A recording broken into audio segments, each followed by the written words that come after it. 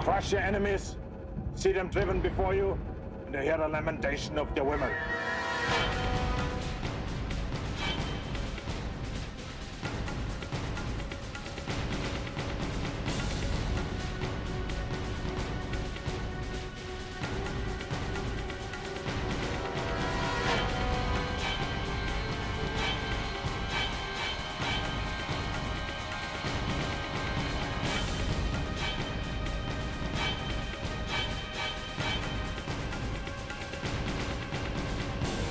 Come for the.